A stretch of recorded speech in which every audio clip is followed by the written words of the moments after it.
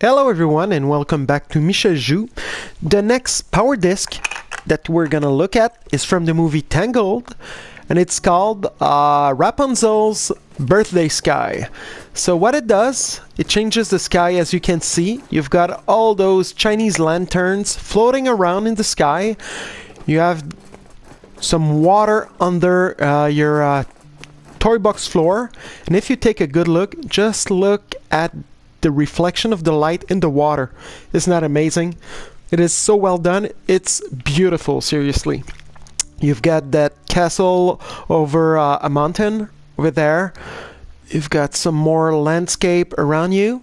So, and you've got that music, which is pretty relaxing if you ask me.